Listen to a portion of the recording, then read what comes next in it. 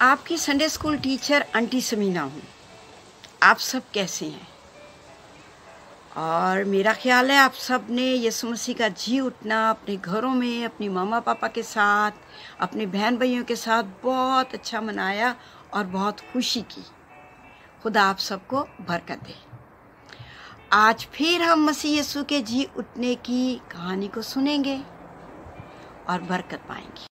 नाम में आप सबको सलाम। मेरा नाम रेचल पॉल है और मेरा नाम दानियल पॉल है। आज मैं आपको खुदावन के कलाम में से एक हवाला तलावत करूँगा। लूका की अंजील उसका चौबीसवा बाब उसकी छठी आयत में कुछ यूँ मजकूम है कि वो यहाँ नहीं, बल्कि वो जी उठा है उठा है। याद करो याद करो कि जब वो गलील में था तो उसने तुमसे कहा था, लूका की अंजील उसका चौबीसवा बाप और उसकी सात आयत। वहाँ कुछ यूँ मरकूम है। ज़रूर है कि इब्ने आदम गुनाहगारों के हाथ में हवाले किया जाए और मसलूब हो और तीसरे दिन जी उठे। हाँ शुक्रिया।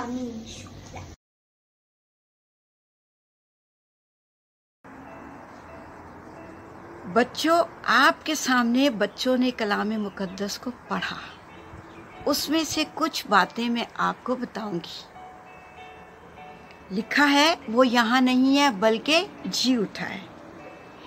याद करो, मुझे और आपको याद रखना है कि यीशु मसीह ने हमारे लिए अपनी जान सलीब पर दी और वो मुर्दों में से जी उठा, उसकी कब्र खाली है।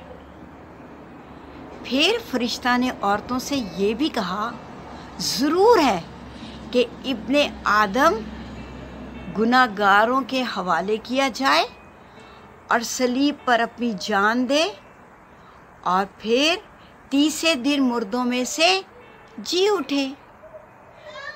मुझे और आपको ये बात ज़रूर याद रखनी है कि यीशु मसीह ने हम सब की खातर अपनी जान सलीब पर दी और वो ज़िंदा है, उसकी कब्र खाली है आज हम ऐसी ही कहानी में जानेंगे कि किस तरह उन्होंने यीशु मसीह को जाना कि वो ज़िंदा है।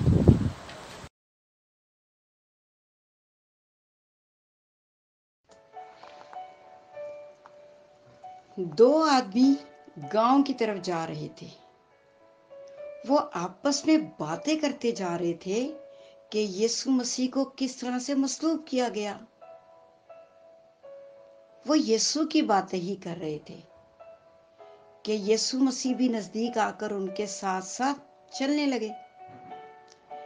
इन आदमियों ने यीशु मसीह को न पहचाना। वो तो बातें ही कर रहे थे यीशु के ताल्लुक से। यीशु ने पूछा तुम क्या बातें करते हो?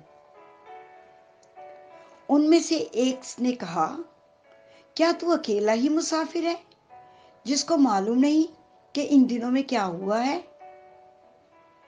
यीशु ने उनसे कहा, क्या हुआ है? उन्होंने कहा, यीशु नासरी, जो काम में और कलाम में कुदरत वाला नबी था। सरदार काहिनों ने और हमारे हाकमों ने उसको पकड़वाया और कत्ल का हुक्म दिया और फिर उसे मसलूब करवा दिया। हमको तो उम्मीद थी कि इसराइल को आज़ादी यही दिलवाएगा। आज तीन दिन हो गए हैं। हम में से चंद औरतों ने तो हमको हैरान ही कर दिया।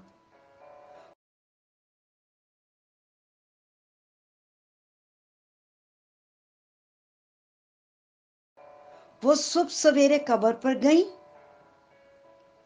और उनकी मुलाकात एक फरिश्ते से हुई। फरिश्ते ने उनसे कहा, तुम यस्सु को ढूंढती हो, जो मसलूब हुआ था, वो यहाँ नहीं है। वो अपने कहने के मुताबिक जी उठा है। फिर हम में से दो शागिर्द भी कब्र पर गए और कब्र को खाली पाया।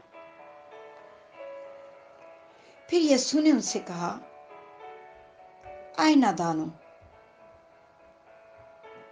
मसीह यस्सु को दुख उठाकर अपने जलाल में दाखिल होना ज़रूर था।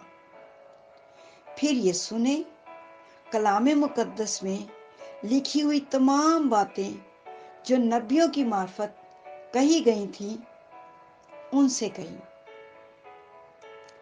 इतने में उनका गाँव करीब आ गया और वो जल्दी जल्दी चलने लगे। इन आदमियों ने यीशु से कहा, यीशु मसीह, मेहरबानी करके आप हमारे घर चलें और हमारे साथ खाना खाएँ। जब यीशु मसीह उनसे आगे जा रहे थे तो उन्होंने कहा, मेहरबानी करके आप हमारे साथ चलें। अब बहुत शाम हो गई। आप हमारे साथ खाना खाएँ। और उन्होंने यीशु को मजबूर किया कि यीशु उनके साथ जाकर उनके घर खाना खाए। यीशु मसीह उनके साथ अंदर गए और उन्होंने यीशु के लिए खाना तैयार किया। और जब खाना खाने लगे तो यीशु ने रोटी लेकर बरकत दी और तोड़कर उनको देने लगा। बच्चों, उसी वक्त उनकी आँखें खुल गईं। और उन्होंने पहचाना, ये तो यीशु मसीह है, ये तो यीशु मसीह है। और यीशु मसीह वहाँ से गायब हो गए, यानी चले गए। और बच्चों, जब उन्होंने यीशु को पहचान लिया तो वो तो इतने खुश हुए, इतने खुश हुए। और फिर कहने लगे, जब वो रास्ते में हमसे बातें कर रहा था तो हमारा दिल कितना खुश हो गया था। हमारा दिल खुशी से भर गया था। फिर उन्होंने आपस में कहा, चलो चलो चलो। चल के शागिर्दों को बताएँ कि यीशु मसीह ज़िंदा है यीशु मसीह ज़िंदा है। और फिर बच्चों, वो यरूशलेम में, उस घर में गए। जहाँ यीशु मसीह के शागिर्द मौजूद थे। उन्होंने यीशु मसीह के शागिर्दों को कहा हम जब राह में जा रहे थे अपने गाँव की तरफ़ तो हमारे साथ यीशु मसीह भी चलने लगे। यीशु मसीह ने हमसे बातें की, फिर हम यीशु को अपने घर ले गए। और जब हम रोटी खाने लगे तो यीशु ने शुक्र किया तो हमने पहचान लिया, ये हमारी आँखें खोल गईं, ये तो यीशु है। और यीशु उस वक्त हमारी नज़रों से गायब हो गया। उन्होंने कहा, यीशु ज़िंदा है, हमने उसको देखा है, यीशु ज़िंदा है। वो उनको बता रहे थे और जब वो उनसे बातें कर रहे थे तो बच्चों, उसी वक्त, बिल्कुल उसी वक्त यीशु मसीह उनके पास आकर खड़े हो गए। और यीशु ने उनसे कहा, तुम्हारी सलामती हो। फिर तो वो सबके सब बहुत घबरा गए। यीशु ने उनसे कहा, मेरे हाथों को देखो। मेरे पाओ को देखो। मैं ही हूँ। मुझे हाथ लगा के देखो। फिर वो सबके सब खुश हुए। यीशु ने कहा, क्या तुम्हारे पास कुछ खाने को है? शागिर्दों ने यीशु मसीह को मछली का एक टुकड़ा दिया और यीशु मसीह ने उनके सामने खाया। फिर यीशु मसीह ने उनसे बहुत सारी बातें की और उनको तुरैत जबूर और नबियों की सब बातें जो यीशु के बारे में लिखी गई थी एक एक कर कर उनको समझाई और उनका जहन खुला और वो किलाम मुकद्दस की बातों को समझे कि यीशु मसीह को दुख उठाकर तीसरे दिन मुर्दों में से जी उठना ज़रूर था। बच्चों, आपने कलाम मुकद्दस में से सच्ची कहानी सुनी और आपको बहुत मज़ा आया। और इस कहानी में इन आदमियों ने जो यीशु मसीह से मिले थे, चार काम किए। पहला काम वो यीशु मसीह से क्या कर रहे थे? बातें कर रहे थे। ठीक है? दूसरा काम उन्होंने यीशु मसीह को अपने दिल में लेके आए और अपने घर में भी यीशु को लेके आए।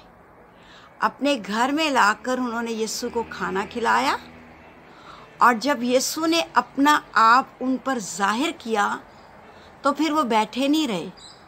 वो अपने पाँव पर चल के जल्दी जल्दी शागिर्दों के पास गए और उनको बताया कि यीशु मसीह ज़िंदा है और हमने यीशु मसीह से क्या किए बातें की हैं। इसी तरह बेटा, मुझे और आपको भी चार काम करने हैं। सबसे पहले हमें यीशु मसीह को अपने दिल में रखना है और यीशु से कहना है, यीशु मसीह, तू मेरे दिल में रह। फिर उसको कहना है, हमारे घर में आ। यीशु मसीह आपके घर में भी आपके साथ रहना चाहता है। फिर हमें यीशु मसीह से अपने मुँह से बातें करनी है। यीशु मसीह से बातें करनी है और बातें करने के लिए हम क्या कर सकते हैं? कलाम मुकद्दस को पढ़ें और फिर इसको समझें और इसमें से जो बातें लिखी हैं उसके मुतालिक हम बात करें खुदा से, यीशु से बात करें। हम दुआ करके भी, दुआ में भी हम यीशु मसीह से बात कर सकते हैं। और हम दुआ के ज़रिए भी खुदा यीशु से बात करते हैं, जैसे कि उन आदमियों ने किया। फिर जब उनको पता चल गया कि यसु ज़िंदा है और उससे मुलाकात की तो भागे भागे वो शागिर्दों के पास गए और उनको बताया, यीशु मसीह ज़िंदा है। हमारे पास भी बहुत सारे ऐसे लोग हैं जिनको पता नहीं है कि यीशु मसीह ज़िंदा है। हमने भी उनके पास जाना है और उनको बताना है कि यसु ज़िंदा है। पहले तो हमने उनके लिए दुआ करनी है। उनके लिए दुआ करनी है। फिर हमने उनको बताना है कि यीशु ने हमारे लिए अपनी जान सलीब पर दी और वो ज़िंदा है और उसकी कब्र खाली है और वो आसमान पर है और वो दोबारा आएगा और मुझे और आपको साथ ले जाएगा। इन आदमियों की तरह ये बातें हमने अपने प्यारों को बतानी है। और हमने सबके बारे में फ़िक्र भी करनी है। जैसे इन शागिर्दों ने फ़िक्र की और जाकर शागिर्दों को बताया कि यीशु ज़िंदा है, सो हमें भी ऐसा करने की ज़रूरत है। सो आओ हम दुआ करें ताकि हम ऐसा कर सकें। खुदावंद, खुदा, मैं तेरा शुक्र करती हूँ तमाम बच्चों के लिए जिन्होंने कलाम मुकद्दस को सुना है। मैं इनके लिए बरकत चाहती हूँ, ज़िंदगी तंदुरुस्ती चाहती हूँ, सेहत चाहती हूँ उम्र की दराजी चाहती हूँ। ये बच्चों के दिल में तू रह, इनके अंदर तू सकूनत कर। ये मसीह ईमान में कायम रहें और मसीह की पहचान में बढ़ते जाएँ। हमेशा खुश रहें, तू इनकी मदद कर। यीशु मसीह के नाम से, आमीन। मेरी आँखें खो हर पर्दा हटा। अंधेरा भगा अपनी रोशनी चमका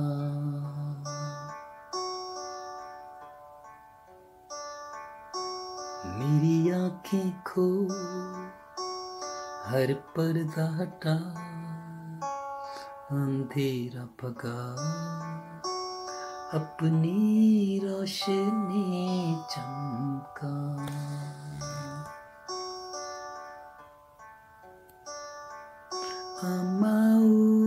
उसका तज रूपा दे। वही जोश मुझमें जगा।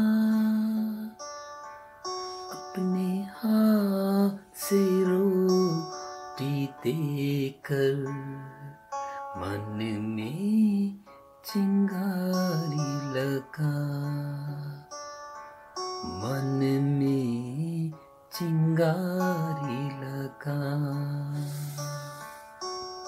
मेरी आँखें खो हर पर्दा हटा।